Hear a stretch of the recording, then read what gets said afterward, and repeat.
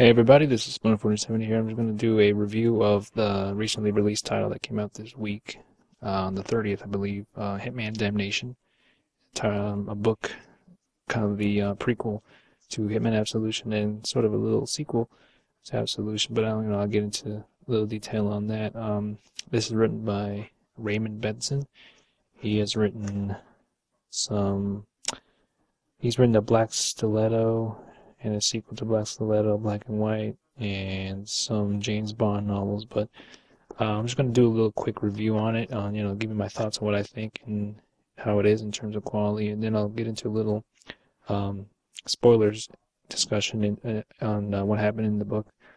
Um, this book is takes place about, uh, I guess, after the events of Blood Money, though we never really get uh, a real explanation on exactly what happened after Blood Money. Like it's like they never like it never. It's kind of like it never happened from you know from when I read. They never really mentioned it, only in terms of some references to some missions he did in the video game Blood Money, but nothing to you know what happened at the very end. So that's a bit unfortunate there, but it um it takes place in the beginning where 47's in the a mission on the Himalayas, and then Diana is you know um, on the other end of the line with you know is always in communication with 47 and she has cameras set up on different areas of where she is currently located while he's while she's helping 47 out on a mission um, to take out an, a target um, by putting a, a sort of um, sonic kind of kind of a sonic uh, emitter or whatever to um, place it on on on the side of a on a mountain so it will create an avalanche and just kill the kill the target that easy and make it look like an accident. And um and it's something's going on where Diana is in constant surveillance of where she is at, and then um, certain certain uh, people show up with you know with guns and, and bulletproof vests to take in Diana, and then turns out that she has taken some sort of package from the agency um, they don't really, I don't think they've really said what exactly the package is, but it's some sort of um, project that Benjamin Travis is working on, which is a newer character that's going to be introduced in Absolution, which is going to be, um, I guess he kind of runs the, the ICA department there. Not a big, not a big boss or anything. He's kind of, um, kind of like the manager or supervisor of the ICA. The ICA is um, a secret kind of organization where they set out um, contract killing. So anyone from, you know, a senator who wants somebody killed, then they call them, and it's a very secret uh, organization that the 47 works for. So, so Diana, uh, they mentioned in, in, in the book that something is he's working on some sort of project that Diana doesn't really agree with, and and Diana doesn't seem like the, doesn't seem like the kind of person who would turn her back on on her job. She seems very loyal, so there must be something really big that he's working on that uh, that Diana decided to take action into her own hands, and she's kind of on the run now from the agency. So the, when that happened, she had to escape. She has to escape and you know leave 47 hanging. So you didn't. So 47 had to f- finish the mission on his own because he had no clue where exactly to put in that um, sonic transmitter or whatever. It sounds kind of sounds like um, it, it sends out like sonic pulses, so you know create an avalanche kill that target like I mentioned earlier. So a, little bit of, of the uh, the mission goes wrong before someone still accomplishes it, and then he gets injured um, as a result. And I guess he gets hit by the avalanche as well. But since he's you know kind of you know genetic, genetically engineered by uh, man, I'm not gonna get to the whole story of his origins, but if you're if you're um, to get to go to go by it a little bit quickly, just to give you a little little um, insight on uh, his deception.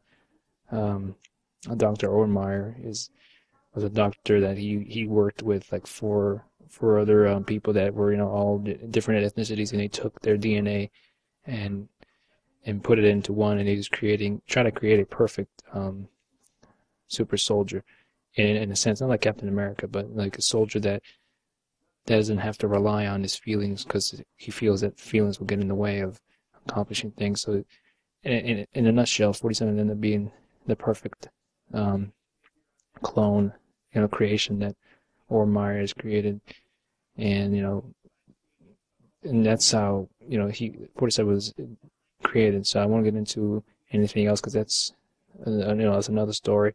They even talk about that's what happened in the beginning of the first game. Um, you know, through through that, he, you know, he has, um, he's able to, you know, sustain injury and, and things like that more, more than uh, than an average person.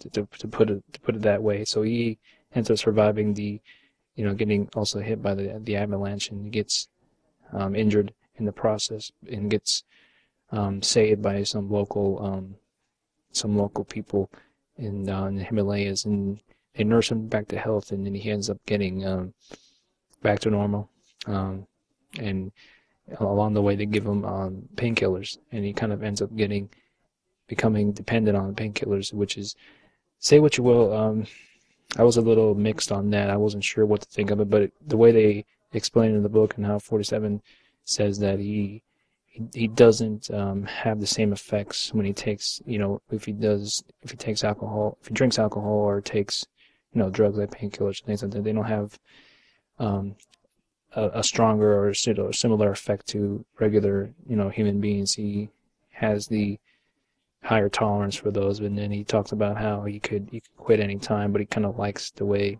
it feels when he takes them so you know, it kind of becomes apparent that he's addicted to those painkillers, and that becomes prevalent throughout the, throughout the book. And he isn't really the same the same um, assassin as he once was when he got injured and during the that mission in the Himalayas. And that once he gets he and then became he became missing for a while, and the agency has been looking for him since. And he, he he's come back to work for them a year after, and um, just so he can and he, he meets up with Benjamin Travis, you know, and and Jade, his assistant, and initially they um, Benjamin Travis has an ulterior motive, obviously that he, really wants to find 47, and, he, and he, ends up, he ends up finding him in, in order to use him for a mission and also to find Diana so they can get the package back because he he has to put on the he has a he has a project that he's working on he has to put it on hold in order for um, the head you know the head people of the agency that doesn't become aware that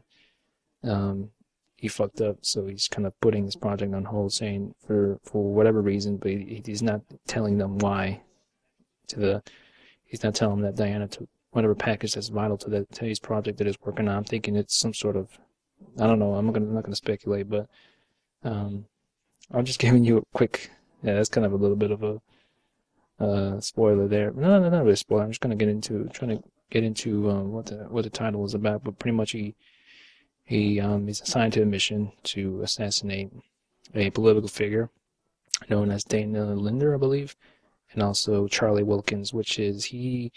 Charlie Wilkins is a guy who has his own, you know, TV show. He's got his own restaurant. He's kind of have a, you know, an empire. He's kind of one of those guys that you know if you see on TV that are always, you know, spouting off about religion and you know in a huge huge crowd of people seeing him, you know, doing his religious thing, and he's kind of he's developing his own type of religion where it, it embraces just different, you know, diversities of religions, and you know, people love him, and uh, excuse me, um, they all they, you know they all love him and find him a very a very um charming guy. So, um, you know, 47 is assigned to assassinate both of them, but the the person who assigned the mission says that um, that to kill to kill Dana Linder is you know another political figure that's running for office, and also kill Charlie Wilkins. But after he, after he kills Dana, um, not to kill Charlie until he until they un, until uh, the client says so, and um, also he has to be it has to look like it was an inside job where someone within his camp was responsible for his death. So 47 has to go on the cover to on the cover and kind of this church of of the will is what they call um, Charlie Wilkins is you know his whole thing where he has an area and I forgot where it was but you know it's just kind of this a big compound of, of people that work for him and, you know uh, believe in what he spouts and um, 47 had to get close to somebody so he gets close to um, someone a woman named Helen McAdams who's you know he she is also you know very, you know she very very much sees Charlie Wilkins and you know in a high regard. She respects him and ultimately the reason why she's still alive, and we'll get into that a bit later. But and you know, 47 also ends up developing some sort of um, you know some relationship to her because he has to get close to her in order you know to be in order to you know further um, make it easier for him to get to Charlie Wilkins. You know, just to, just to get in and and closer to her and to Helen McAdams, and it ends up kind of being um, he up kind of feeling something for her. They never really get it really uh, physical and intimate, but he he has kind of developed a relationship with her, much like um, he developed a relationship with Father Vittorio in uh, Hitman 2, Silent Assassin. Much like that, very you know emotional and and and mental way. He, he gets close to her and and I just this I think this book is written very very well, and I felt that whatever you know kind of nitpicks you have, and that's know, I guess that's fine for you to have. But I really didn't have any problem with this book. I thought that was really well written. Well written.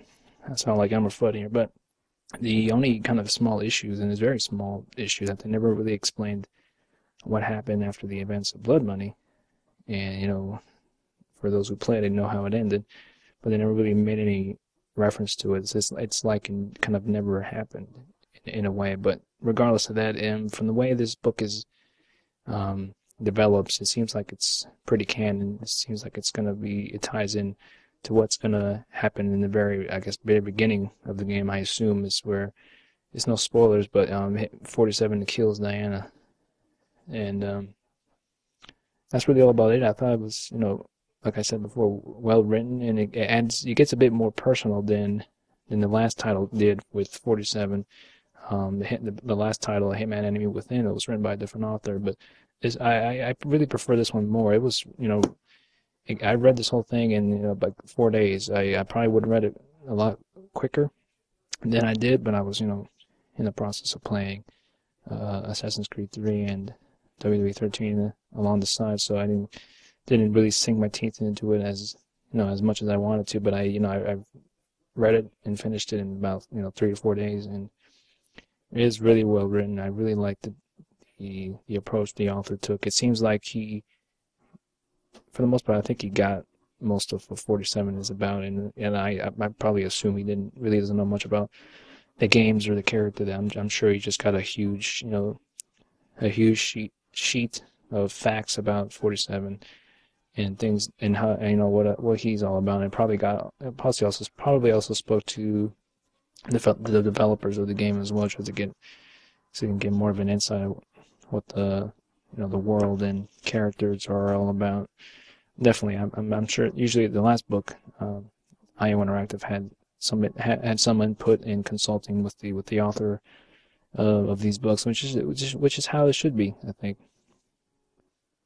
Um, if you're gonna make a a, a novel, um, based upon a video game, and I think that's the only way to do it, just to get the, it right. So for the most part, I think it's a really good title, a really good book. Um, if you if you're really a, if you're really a fan of the of the Hitman series like I am, I think Agent 47 is a very very interesting character, a very underrated character in terms of the, the video game character. I think he's a very complex character, which you think you know what he's all about, but at the same time, he's you don't really. I don't think he even knows he doesn't even really know much about himself because he tries to be normal, but it all seems very, you know, foreign to him. Even when he was trying to get personal with um, Helen McAdams in order to, you know, successfully accomplish his mission, which he did, um, did all that, but he just never felt very comfortable with it. He can, he, he's good at disguising and blending in with environments, and he can do, he can just put on a persona as as simple as that. You know, the snap of snap of the fingers, he can do it, and and he just doesn't feel, you know, he doesn't feel that it's very him. You know, it's when he does it, he does he doesn't feel embarrassed or anything. He just doesn't feel very comfortable. You know, getting close to anyone. I mean, the only people he's really gotten close with was, you know, Father Vittorio and Hitman 2 Silent Assassin, and you know, and Diana was kind of been the only person that he's been working with very close, and he's not really even sure exactly if whether Diana betrayed him or not, and he I think he intends to find out exactly probably what's going to happen in, in, this absolution. And, and, obviously, I think Benjamin Travis is, is, using him, obviously. And since he's been going through, and also he quit um, taking the painkillers during the during the book, and he went through this whole withdrawal thing that took that takes months to get over, but he got over it in a couple days, and he kind of kind of got his senses back as well. And uh, yeah, uh, I'm just going to split this up, and um, you know, thanks everyone for watching. I think it's a good book if you're a fan of the of the series. If you're not, I think it's still a really good read to check out, and it might even get you uh, interested in the in, in the games. So, thanks everyone for watching. I'm Splinter47 signing off. And now I'll continue on with um, the spoiler part of the of this review. Um, for the most part, I did enjoy this from you know beginning to end. You know, I you know really, I really didn't mind the the thing Ford I'm going through with you know his addiction to painkiller, which he didn't even he didn't even think he, he was addicted because he I don't think he's ever experienced that as you know until like Helen McAdams when he got close to Helen McAdams. Um, she was talking about how before joining the church of, of Charlie Wilkins that she was a drug addict and um, you know took things from oxycodone and you know heroin, and even to a point where she just got to a very low point in her life where she almost where she cut herself in, in hopes to you know end her life, but it just it didn't happen. She ended up surviving, and she has a you know scar on her arm that she showed 47, and you know, pretty much she's quit. She quit and joined the you know religious route to in order to you know rectify for what she has gone through and hopefully make a better life for herself. And she, and she was kind of an intro, introvert before she met 47. She kind of developed a kind of attachment to her. She was willing to get into a relationship with him, and you know, 47 for his cover was kind of in a relationship with her more as close friends than anything else. He never really got intimate with her um, sexually or anything, just more emotional and mental and 47 never experienced any of that because he's been, you know, born and raised to kill, so he's never really experienced that. It's funny, it's a funny moment in there where he's like, he says, um, uh, I just want to be friends. I'm not gay or anything, but I just want to be friends. And, and I thought that was pretty good, pretty good moment there. And, uh, and he's one of those things where he goes through, um, when he's going through withdrawals and when, and before he goes through withdrawals, he's having these dreams about death, you know, coming after him and um, at the end it says that he, the death was him. You know, there's some sort of uh, uh, significance there at the end, and and uh, when he, when he does ends up killing um, Charlie Wilkins. Before that, um, pretty much the whole thing with Charlie Wilkins is is he was after 47 killed Dana Linder, which was, um, which Charlie Wilkins knew as a young child. It, he was kind of like a second father to him when they when when her parents died, and um, she was kind of running for kind of she kind of he kind of Charlie kind of egged her on to run for a political campaign, uh, you know, for president. And after 47 killed her, um, Charlie Wilkins decided to take her place and run for president. And people so, you know, were so up, you know, they they really. Um, really like Charlie Wilkins, and it seemed like he was going to win the presidential election. And then you end up finding out about the, which they explain in the book, um, the new, new model army or something like that, which is kind of like a radical, you know, group of people that are just kind of fed up with, you know, the current administration and government, and you want, they want a revolution and things like that. And they've been doing these, um, you know, bombings and killings in certain areas to send their messages. And he later found out that Charlie is in cahoots with them in order to for him to succeed and win the presidency. And he ends up he's pretty much a fascist as you later find out in the book and the leader of, of the new model army is um, someone named Cromwell which you later find out was the brother of of Dana Dana Linder who who um, he was a marine who was presumed dead and then he got plastic surgery to change his, his looks. And he just, um, he, you know, Cromwell tells the story to 47 when, uh, I know I'm going, I'm going all over the, all over the place, but, Um, 47 finally infiltrates the, the Church of Will to kill Charlie Wilkins. Um, Charlie knew he was coming because um, he was the one who made he was the client that um, the he that hired that he hired the agency to kill um, Dana Linder in order for him to become president, and and he also put the hit out on himself because he he wanted to make it look like when when 47 was about to kill him that um, that he would be ready for him, and then that they would kill whoever the assassin was that was meant to kill Charlie, and to make it look like he was being targeted by you know they, they, they go through the the book of saying that people believing that the government killed Dana Linder and things like that that like, you know the president that at the time that's running against Dana was responsible for it, and they're trying to send this whole message out to people to make them believe that the that the government and the CIA are you know after her and Charlie Wilkins. So just to gain more sympathy and in order for him to win the election. And um, Cromwell, um, you know, the, the, the the brother of Dana was. He tells a story about he when he was in in uh, Iraq and telling talking about how they were about to shoot down a, a school where you know women and children were there, and he went inside, you know, you know, not following orders, and to see that there was nothing in there.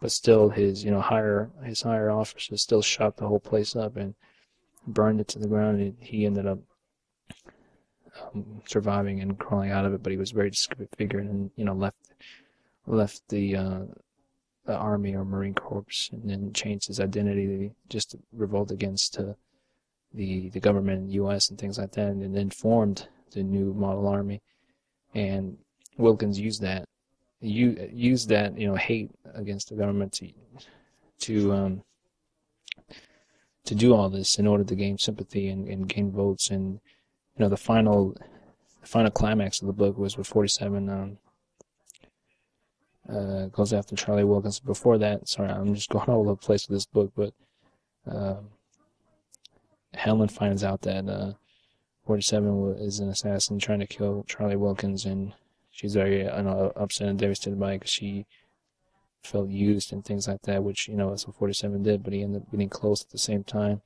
you know, emotionally and mentally. And he, he vowed not to let any harm happen to her and protect her and things like that. And, uh, you know, the climax of the, of the book where 47 is, you there, there are other things in there that happen that I'm just, I'm not going to go through because it's already a long video as it is, but uh, 47 kills Charlie Wilkins with a bus. he was having a campaign uh, rally at a mall, and um, the New Model Army was some of the members were dressed up as mm, was dressed up as the Marines or what are they dressed up as? They're dressed up as you know some Marines or some other. Um, they were dressed up as the National Guard, so they were shoot. They really were shooting up crowd full of people and Charlie knew, you know what he was doing. He, he, just got out of control, and for better for worse, or for worse, really, he was, you know, he's a piece of shit for doing that and trying to gain sympathy and votes to win the election. He he sacrifices people who came to see him in order for him to win the election, just to get shot down. And you know, 47 put the was, you know, shooting people left and right. Uh, were part of the New Model Army, and you know, Helen was there, and she, it's just it was sad that. Um, she ended up getting shot, um, and some of the, bullets went through her lungs. And 47 was um, got a hold of her, and and he knew that she was going to die in like a minute, and so she, you know, put the end to, put the end to her misery, just so she wouldn't die in pain. She shot, he shot her in, in the heart with with his gun.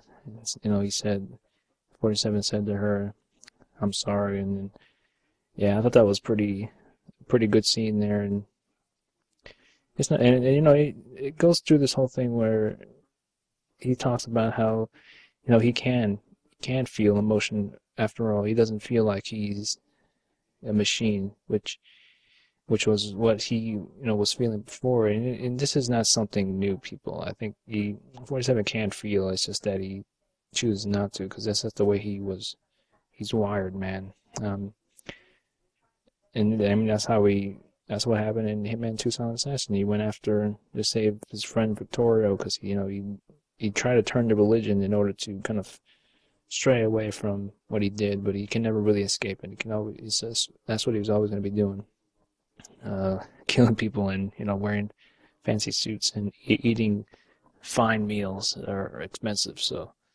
um, once that happens, that ends up ending uh, Helen's pain by shooting her in the heart, and he ends up killing Charlie Wilkins, and that's um, with a bus, and then he, he hits the. It was like this whole chase down um, in Washington D.C.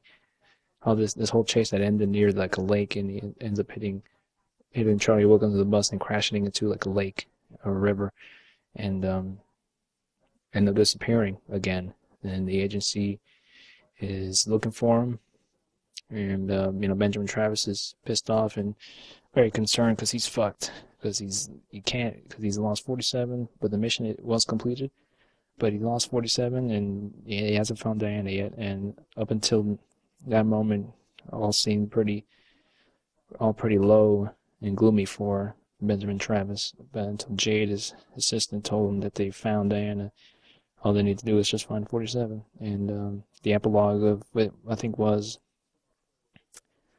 no, it wasn't the, the you know the final pages of the book was 47 in, in Guadalajara in hiding. He said that he was gonna, he's going to go back to the agency soon, but not right now. He was just kind of chilling, really. You know how the end of Max Payne 3 he was kind of chilling, done with things, but 47 will be back for that. Uh, chilling in Guadalajara, and then the epilogue was Diana um, as a residence that nobody knows about, and you know, except the except the agency and the ICA know about it. That's why they're going to go after Incident 47 after, and you know, the beginning of Absolution, which is probably what will happen.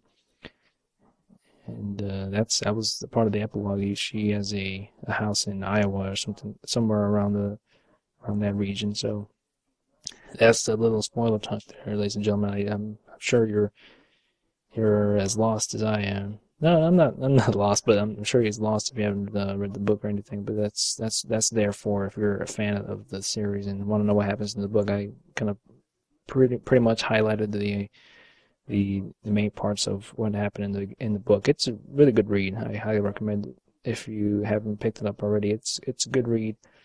You know, like I said before, the only minor grievances I have towards it is that it doesn't um it doesn't really explain anything that happened um, after Blood Money, but it's a, I think it's a good, you know, a good epilogue of a good prologue. I mean, what I'm saying, epilogue, a, a good prologue to Hitman Absolution. So, if you're if you if you like reading and you want to you want to read something that's you know about Agent 47, I think it's a good it's a good book to pick up. It gets pretty personal with 47. I and I you know I look forward to the game and I hope that uh, IO does good with the story and gameplay and get more personal with 47 to get that much more into it. So, thanks everyone for listening. I'm Splinter 47 signing off.